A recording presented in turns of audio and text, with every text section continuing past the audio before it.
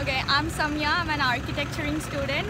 I came from Madhapur zone to represent my college. Actually, two of them from Isha Foundation. They have came to our college and they just said about this rally for river. Which college are you from? Sri Venkateshwara College of Architecture. Yeah, after listening to that, I felt like I should even contribute my thing to this.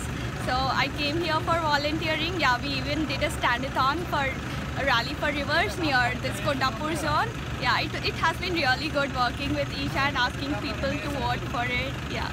How has uh, people's general uh, reaction been? Like, you know, when you suddenly go and tell them it's something completely new for people, right? Something Yeah, like when we suddenly uh, showed these banners and asked people to vote for a missed call, they, many of them weren't aware, but when we gave our views and we explained them actually, they were pretty interested and many of them gave a positive response for this.